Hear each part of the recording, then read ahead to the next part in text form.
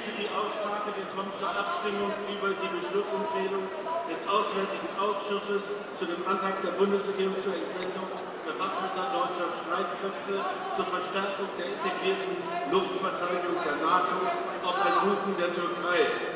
Der Ausschuss empfiehlt in seiner Beschlussempfehlung auf Drucksache 11892 den Antrag der Bundesregierung auf Drucksache 11783 anzunehmen. Wir stimmen